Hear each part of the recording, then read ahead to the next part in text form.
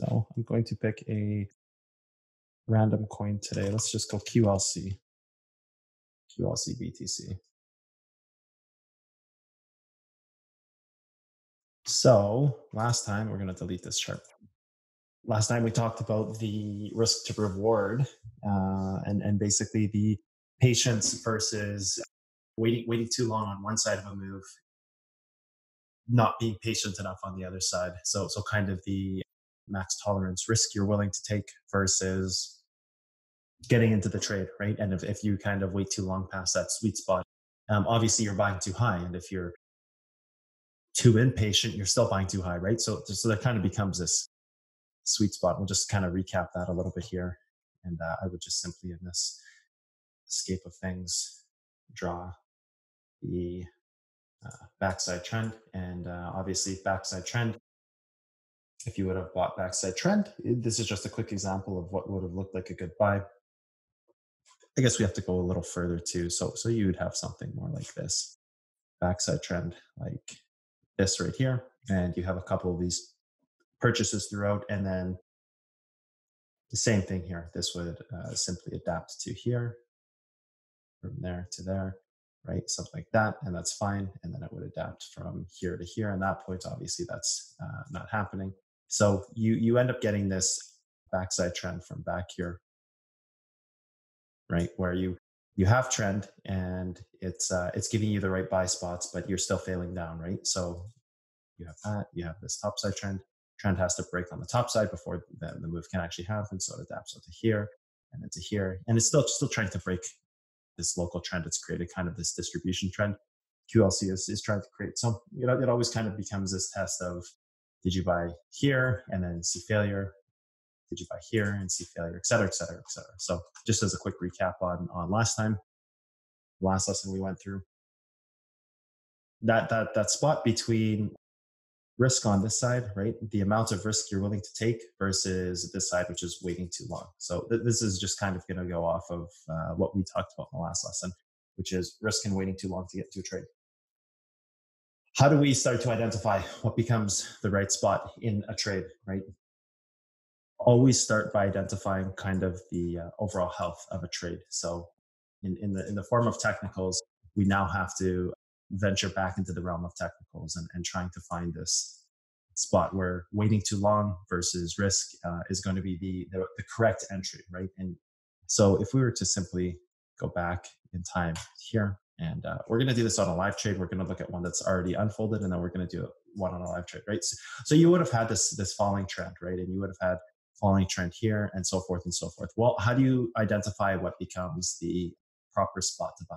Well, that's where technicals come in, right? You have to start with these kind of higher time frames, and you know you have one hold level here, and uh, we're going to start by identifying this as a hold level on the daily.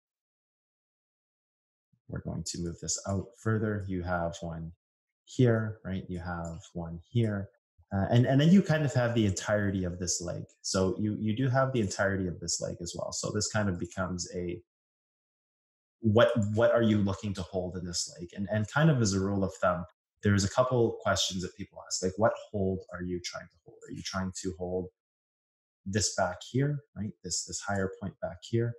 Are you trying to hold something like this, which you can see was attacked here, move comes up, comes back, holds this, moves up again? Are you trying to hit something back here? Are you trying to hit something back here? Right. This becomes a test of of greed uh, and how strong the move is. You you have two sides to this move, right? You have inside the current leg right now, right, which is this, and you also have uh, the larger piece, which could even potentially be all the way from back in this region back here. So something like this, right? So you you have kind of these two regions of of what the leg hold looks like. Like what what part of this move um, are you looking to hold back on, right? Like where where are you actually looking to hit a hold level on on this move? So if we actually come and zoom in on this move and uh, try to square that back up again. Remember, this is a daily chart. So regardless if it's a daily chart or whatever it is, uh, 15 minute chart, it, it doesn't matter. We'll go through some smaller time frames too, right? if you're holding levels back here, this is going to be uh, indicative of an extremely strong part of the move. I would never be buying these hold levels. These are not a big enough retracement on this side. The risk is too high. The leverage that you're putting into the trade is beyond beyond risky. So we're going to delete these and just start on this move by going to the beginning of this right here. So you have something that has moved up and you've identified a couple different hold levels. So the first one you're going to identify is there, the next one is here. So, so what really becomes the level that you are uh, wanting to buy? You start in this move by saying, how much did it make, right? Like you're, you're up 126%. That this is going to go through a large retracement, right? 126%, we already know because we've seen the chart in advance, but regardless, 127%. You have to make the decision here as as to what you are willing to accept as the terms, right? This accumulation zone that has happened down here for the past two weeks is is most likely not all of a sudden going to uh, distribute right here, come here, and then move straight up. This is not enough of an accumulation time frame, right? So you have to make a decision between how strong an entry can be. So this becomes the point where you look at this chart and say, okay, where's the strongest entry? Where's capital injection going to uh, go into this trade? Just like there's a capital injection on this whole level back here, right? You can see it right here, whichever whichever one you're using, and any one of these three, it doesn't matter. Whichever one of these three you're using, you can see the capital injection point here. So, so you can see a span of about three weeks here, from from the end of January to almost the end of February. Actually, the end of February. So there's a month long of accumulation here. So you can you can start to gauge what an accumulation zone looks like and where your money is best entered on this trade. Once this move has happened to this extent, and once you've back attacked some of these larger levels, you have to start thinking of indexing the strength of these moves in your mind. So what I mean by indexing is, is giving them kind of a ranking score to, to start to wrap your head around leverage and, and how leverage works in a trade. If something has moved up 27%, you can automatic, automatically ascertain 127% is an insanely big move. I can just instantly index as as a the move has um, kind of been 10 out of 10 for expectations. It held this uh, accumulation level right here for uh, a month long. We can we can already index this as a 10 as this was like kind of the greatest expectation. What whatever was hit back here, I'm not sure the level that was hit. I guess we could just go look. It would be uh, quite possibly this inverse level right here. Oh, right here. So it, it hit this inverse level fine. So it didn't close its valley out. It hit the inverse level no big deal, right? So it's a very normal behavior, but again, it, it did gain 100%. So you, you can start automatically by indexing this as something that has uh, about a 10 in strength. With that said, you have to start indexing in your mind the amount of strength associated with these to kind of put more more weight to what a hold level could look like just like what had happened here in this cycle. In this cycle here, you probably have a very similar result where you had a move that was uh, quite substantial.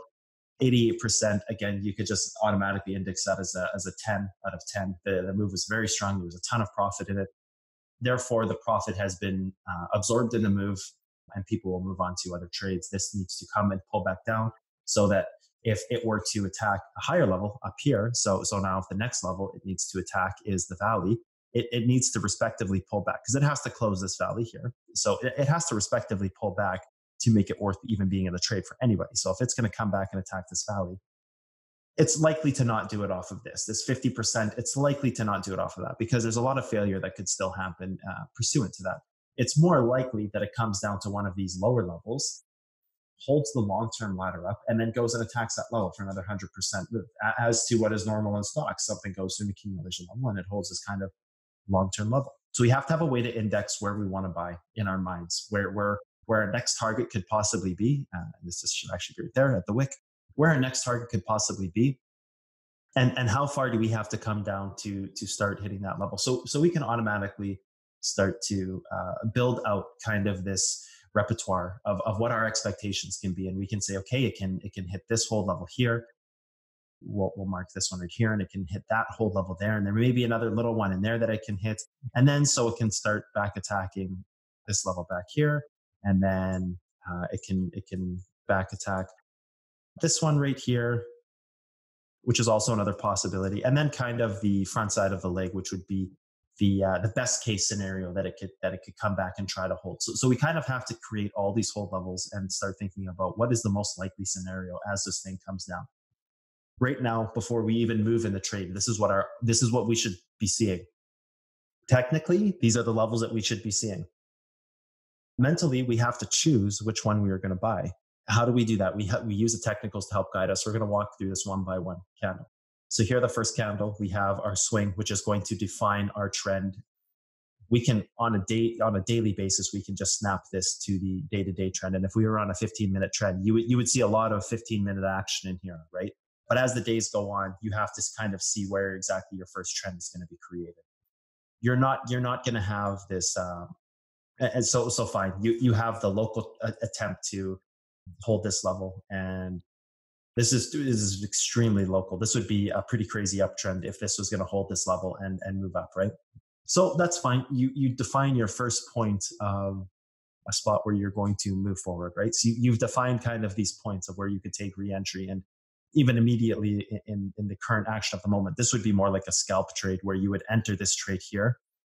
This is not a long-term position trade because the, the, the, the distribution hasn't matured enough. You have to let this distribution mature and it has to hold a level through whatever trend it creates to move up. So you're going to have kind of these knee jerk reactions where it does come down and, and it creates trend based on some other inverse level. So, so on this side of the candle up here, there's most likely an inverse level hit. 99% of the time, there's an inverse level hit inside of here, which is showing you where your distribution trend is going to start, right? So th- this is all stuff we know based on the technical. So that's what we're walking through right now. So so this was hit fine. It's it's gonna you know first touch bounce. That's fine. If you want to identify this as a scalp trade, it does veer on the higher side of risk. If you're scalp trading something based distribution in the moment, realize that you're buying into a failing move. So you have to be very careful with this move. If this is what you've identified as a level that you want to buy, you need to identify this as something very specific. Okay. This is going to be swing trade uh, oh, you know what? We'll do this with text because it'll be a, a bit cleaner here. This is going to be a swing trade. We'll, we're, we're just going to use the acronym swing trade inside distribution. Swing trade, WS for swing trade, because S could be scalp or swing. So, you know what? We'll just, that's fine. Okay, going to do the full forwards. Swing trade uh, inside distribution. So this is going to be a swing trade inside distribution. So so we have to have realistic expectations. So this is a very fragile move. This is a very quick move that's going to happen. So so if you were to identify this level, you need to understand that this is failing into or, or coming off of the end of a move, failing down, does that mean we, we can't take the trade? No, it means we can still take the trade, but understand how fragile this is. If this had a, uh, a, a, gauge of, of how fragile it is, we would say something like this. How fragile is it? Uh, fragile factor would be equal to probably about an eight or a nine or a 10. It's, it's, it's a, it's a highly fragile move, meaning that you have to keep your eyes on it. You have basically one entry, one exit. You pick your inverse level that lies somewhere in in in, in this spectrum right here of, of this move. There's going to be an, a, a, distribution level here, and there's there's a nice profitable trade in here, right? There's a nice profitable trade, um, 19% or whatever this was, 24% or even 10%. There's a good trade here, but that doesn't mean you should always take it because these are highly fragile moves and they act quick typically what happens in the industry is the more fragile the move is, the faster it will move. In, in all stocks, the more fragile it is or the stronger it is, the faster it will move. So when a, when a trade is very fragile like this, uh, understand that you have to identify this level. And if you're not identifying this in the moment and, and buying on it and selling almost instantly for a small profit, then you, you know you're you're increasing your risk as the higher the as as the higher the fragile factor goes, the more risk you are taking. So if you identified this first part of the move, you'd be identifying this as something that is a I, I put swing trade in here. That's actually incorrect. It's supposed to be scalp. That's my mistake. A scalp trade in here, inside distribution, where you are buying a whole level to sell immediately in a very fragile move. Because as as much as you can make 20%, in possibly an hour here for a crazy scalp trade, 20% for a scalp trade, you could also lose just equally as, as much. Or, or in, in our best case scenario, if we were to buy this level here and take this scalp trade as a, a high fragile factor, right? If we were taking this inside of distribution, we would enter here. And the second that this hits an inverse level, we are out. And that is it. The trade is cut. Game over. Do not stay in that trade. Do not look for it to bounce. Do not look to ride some kind of uptrend. The move is too fragile. So you can see there, it is it is still failing down, and really right now, what we're trying to do is break trend. So now we are just trying to identify the next level that we would uh, buy it, so we can instantly go and give this side of this uh, some criteria. This very much would still be a, a scalp trade inside of distribution. Again, we, we don't need to identify every single one as what could it possibly be yes, there is a scalp trade inside of distribution. Yes, it has a fragile factor. This is very much going to be always kind of a scalp trade inside distribution with a with a fragile factor, and you can you can take it down maybe one level because it is uh, coming to be a bit lower. So so how fragile is it? Yeah, well, it's a little less fragile because it's going to hold this level easier than it's going to hold this level because this level was determined from from quite some time ago. But it is still fragile, though. It is still fragile until we break trend and back attack the valley, right? Really, what we need to do inside of this move in the current is back attack this. We need to back attack this valley right here to start uh, moving up in this move. And you know what we have to do now? Because we actually created a, another uh, valley based on this bounce, we actually have to back attack this valley too. So, so we still have to do the work to get back on the upside of this move into in, into the move. So this is still a scalp trade. We are not looking to uh, enter this trade unless it's for a quick scalp. These hold levels, right? And and there's a point where you see where it just falls straight down. And inside that day, it could quite possibly be that this did have a bounce. It could have hit this, came up, and this could have been a 30 minute trade where it failed failed down off of something like this level here, its own inverse, and there could have possibly been kind of this uh, smaller trade in here. It's very quite possible that you, you hit this level, bounced up, simply just took a, a, a, small, small little trade here. Like this is this probably did happen, and we can break this down after the replay. There's a seven percent move in here, and that is very possible that happened. But really, that's all that the move is, right? In this distribution, we are still trying to understand where inside of this leg, oops, not that one, where inside of this leg we are looking to take this risk, a, a better place to take this assumed risk, because this is kind of the situation that always happens, right? We see these move, we identify that they're in distribution, and it's like, okay, is this thing moving up or is it still moving down? As you're moving down through these levels, you are not getting into scalp trades anymore. What you are trying to do is break through trend. So now we are kind of defining a different part of this move. And, and, and you know, this is, this starts to become a hold level right here what where those are scalp trades inside of distribution, these become holds trying to break trend, right? So holds trying to break trend, holds trying to break trend have a much less fragile factor. This is probably something like a five or maybe even a four and a half, we can call it four and a half. So this is how we're starting to categorize where we should be entering this trade. This is still quite high in my opinion. This one right here, this hold, this this this level we're touching right here, and I'll make this thicker right now so we understand that this is the one we're talking about.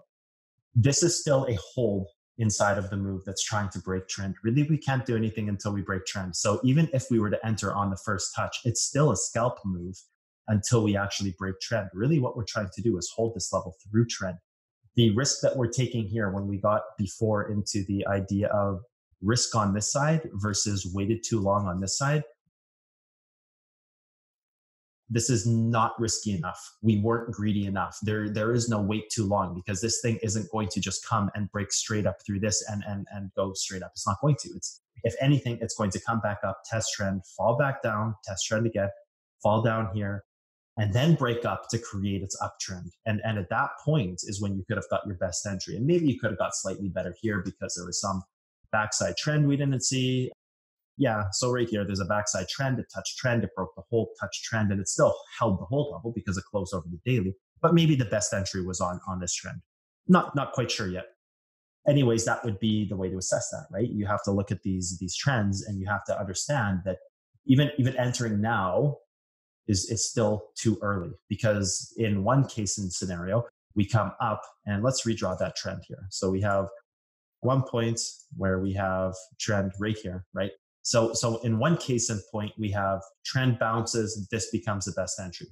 We're not guaranteed this whole level is going to hold. So this might not be the correct buy. That just because trend is here, just because we're touching a local trend, doesn't mean it's a correct buy. We could be testing a global trend, very easily testing a global trend out like this, right? And we're going to leave this here to see how this interacts. We could, again, we could very easily be testing a global trend. So this doesn't become touches trend buy. This becomes almost another scalp trade touching this trend is is another uh, form of a scalp trade, right? So we we go and we do this, and then we say what what else is a scalp trade in here? This is a six right here. The, the risk factor is getting lower because we're touching stronger levels of support. And I wish I could turn this sideways, but maybe what I can do is turn the text green so we understand that it is uh, part of that.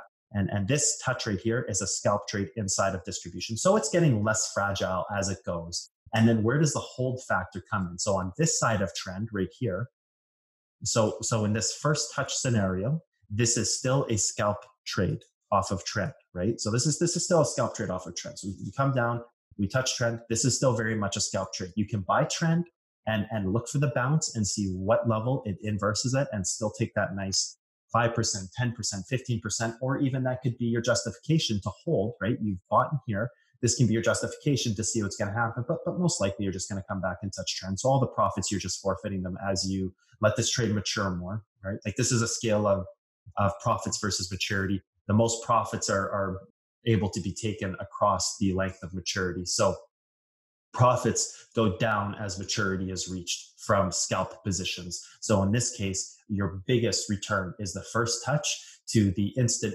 part that it moves up. After that, as this trade matures, you're losing profits because what's going to happen is you're going to come up off that bounce and then test this and then test this. So if you had profits, oops, like this, maturity and profits on this side, um, the scale works like this profits on this side.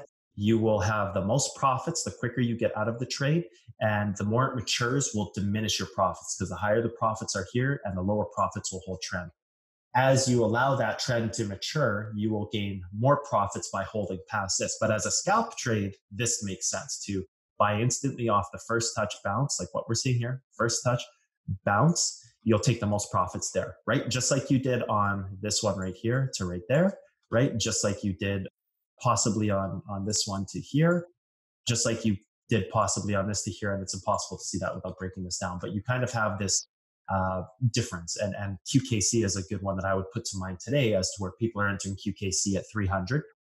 It ran up to 324 sats. Uh, that would have been quick profits to take to leave the trade to re-enter down at 305 or 306 or 307 or wherever it is, right? And and the point being is that you would have had the most profits by entering faster, letting it fail down, and re-getting in. So so you would have taken this trade here. So profits against maturity before it gets uh, to that point where it's back testing trend. And then you would have rebought here to take basically the same scalp move all over again. So basically, you're just buying the scalp twice over.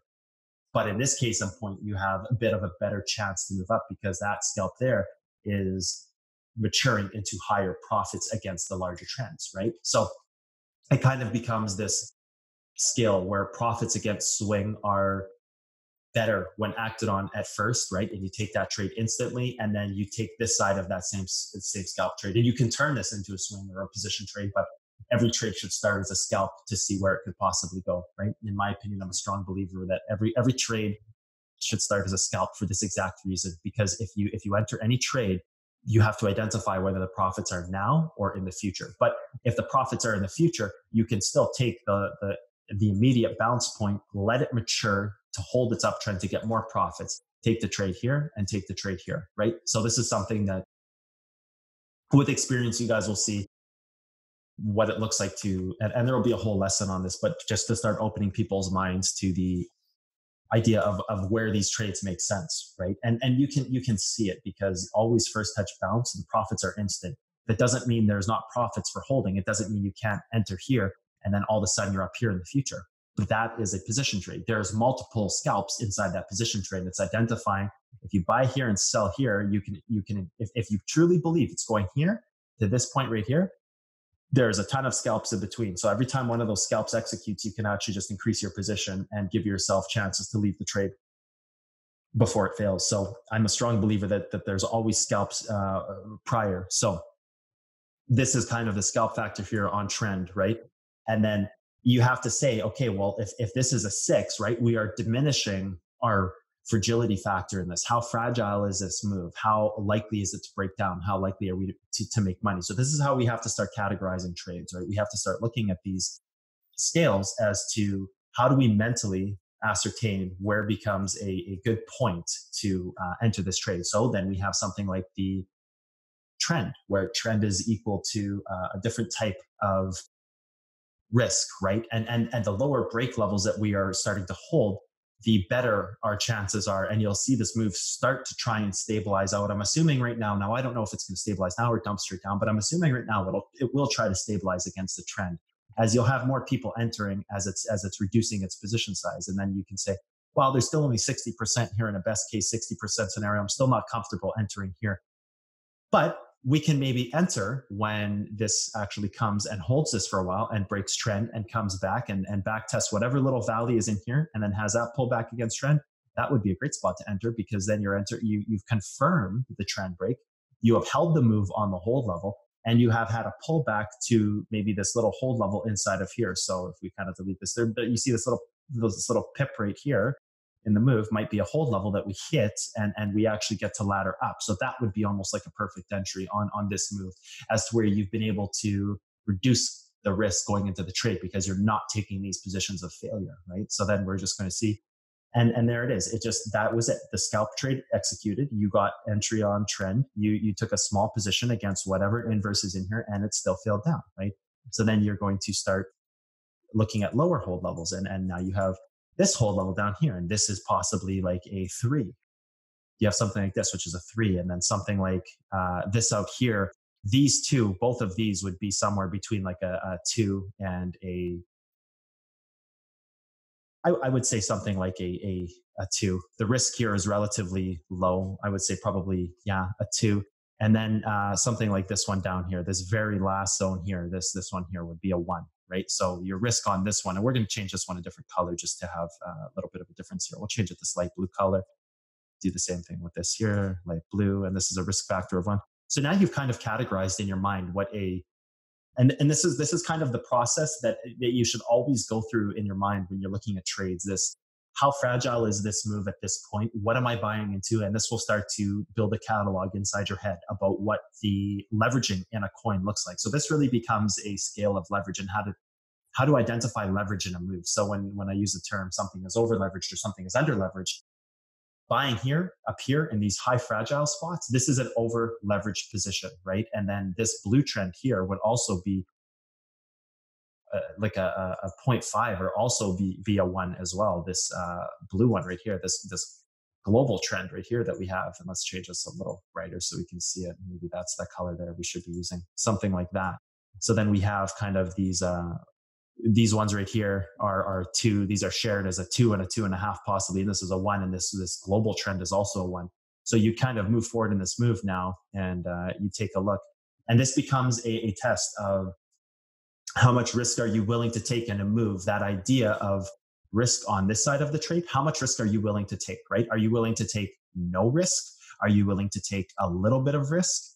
uh, or clo- close to no risk, I should say. Are you willing to take a little bit of risk right here? Are you willing to take this trend line, which is, or, or I should say, this hold level as it holds, which actually turns into this hold level. So whatever hold level ends up holding throughout the move, are you willing to take that much risk? Are you willing to take moderate amount of risk up here? You're willing to take high risk, right? But then you also see the high risk trade leads to a 20% swing almost instantly, right? So, so the higher the risk, the better the payoff. But it's that point of having to micromanage the position to the minute because this is a 20% trade, 23%, and this probably happened relatively fast. This was probably like maybe two hours this happened over, uh, you know, and then for the next how many days? One, two, three, four, five, six. We haven't even seen a move that's been greater than 10%, right? Oh, so there's 13% here after you waited for one, two, three, four, five days bought the correct spot and sold the correct top. And, and that was uh, close to half of what happened probably here in two hours. So again, the kind of the high, you, you have to start cate- categorizing and cataloging what these trades look like. So if the fra- if the fragility factor is high, the, the, you're going to have movement in the coin, right? If, if it's high, you're going to have movement. Um, and that's where 20% is is gained like that almost in the in, the snap of a finger in the blink of an eye you wake up you know enter your trade hit the hold level leave your computer for half an hour to go eat lunch and all of a sudden you made 15% or all of a sudden you lost 10% right it's it's that high risk high swing reward trade because that's what it is right and and this becomes now you know how long did you wait? Did you wait too long to get into this trade right? This this side of this trend being like we were taught we talked about last time waiting too long right? How long did you wait? And and really with this all in mind now you have to understand that this here is just the first part of distribution cycles right? This is just the first cycle in distribution. So what's going to happen likely is you're going to try to break this trend have a swing here your trend is going to go here and then it's going to see if it can break this trend while still holding here or if it's going to break down or if it's going to break that next trend up back attack that origin level again and then move against that to have the larger move, right? So then even here, you, all you're doing is, is really dissecting the first cycle of distribution in this move, right? So this becomes how much risk are you willing to take, right? And you can see, so there it is right there. How much risk were you willing to take? Well, if you are willing to take less risk and be greedier, this becomes a side of risk, right? How how much um, how patient are you? How much how much are you are you willing to wait for a move? And and this is where a lot of people so this trend actually is broken right now. This is uh we're going to move this to here and this trend because that trend completely breaks there which which fuels the downtrend probably fuels the breaking of this move right